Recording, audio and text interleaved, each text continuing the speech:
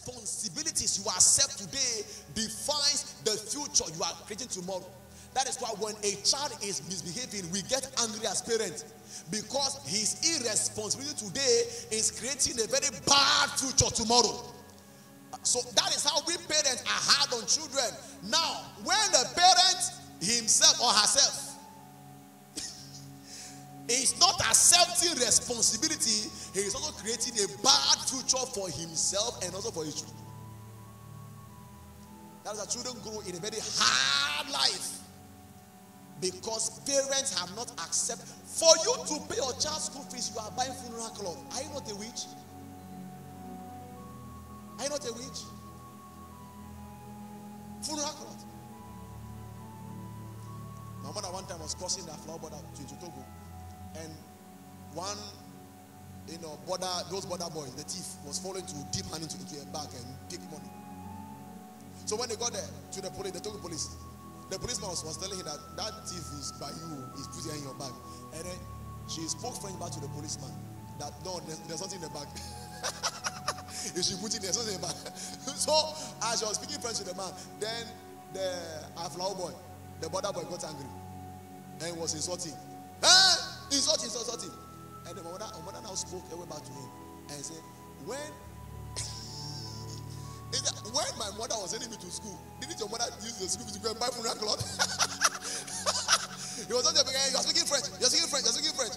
When they were sending me to school, your own, they take you to buy funeral cloth. That is an act of irresponsibility. The response, if you accept the responsibilities of prayers today studying the word of God today, you are creating a future tomorrow.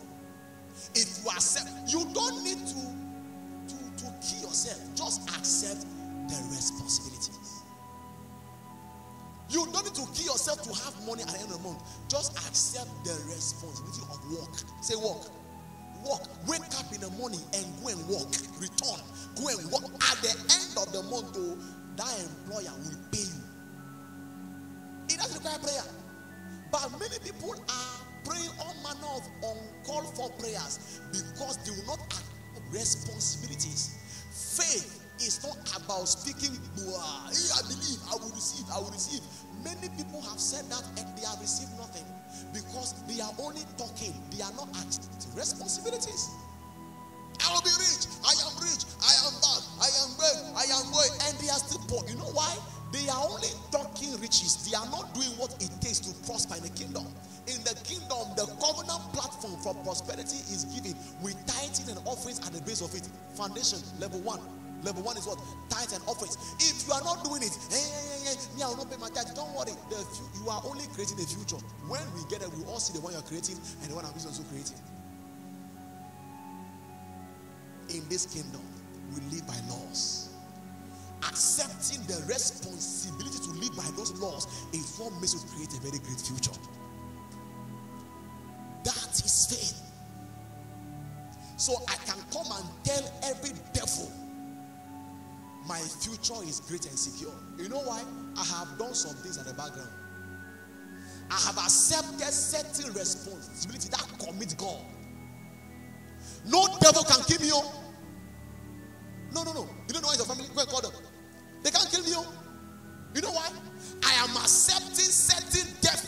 Responsibilities that commit God to my long life. Things don't happen in the kingdom haphazardly. Now, okay, maybe it's by chance, it's not by chance. No, we live in a kingdom of definicy, a kingdom of, of definite input and output. One great man said, It's only failures that believe in chance. Wise and successful men believe in cause and effect. Want a great future in this kingdom. One of the keys you need is faith. And faith is not about talking. No. Faith is not about having a bold face. That's not faith. Faith is simply about what? Accepting the responsibilities that govern outcomes.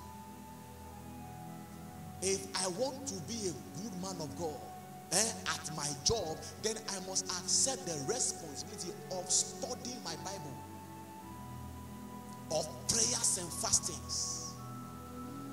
Those are just the foundational. With other one, that is what will make me a good pastor. But if I refuse and I go about, hi, kaba, shaka, I'm a good pastor. I'm a good pastor. And then you come to my house every morning, I have a very bowl of banku in my front. Like a mountain. Some people.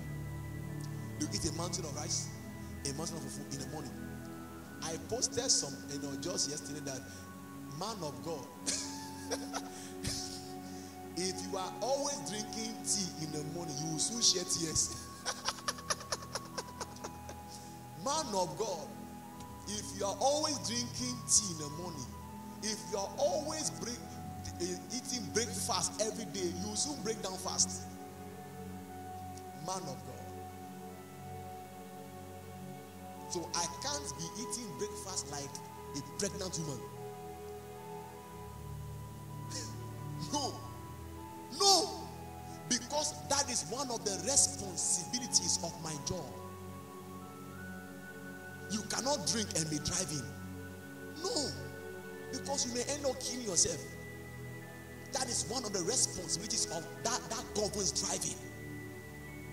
We live in a kingdom of laws. Faith means I have done my part, so I know God is faithful.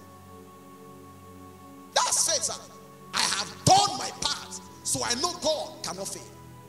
So you can promise every demon, I know I am on top of issues. I know. I know. That's faith. So if you have not done your part, don't go me talking because you will introduce yourself to many, many problems.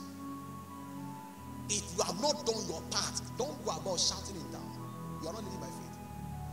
Faith means I have done my part, so I know God is faithful. God is faithful. One day I told one man, I said, I know something. He was talking, I said something. The only responsibility God laid upon a man and the wife eh, to have children is called sex. It's called what? Okay. That's the only response. Eh, go and see one doctor. God didn't tell us. Okay. One herbalist. God didn't tell us. He said, ah, sir, this is your faith. I don't understand. No. and I said, no. The only responsibility God laid upon a man and a, and a wife for procreation is that thing. So as long as I give myself to that thing judiciously, I can guarantee every devil that this, you know, it's a done deal. So, God, go and rest yourself. That's God faith. That's God faith. That's God faith. So, stop confessing what you have not yet practiced. Stop confessing it. Don't confess that you will pass your exam if you're not reading your books.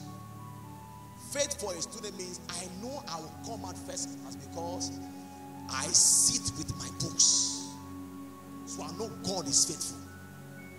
That's faith for a student. I sit with my books. I judiciously invest my. I'm talking for time. Hmm. Let's rise to our. I'm close.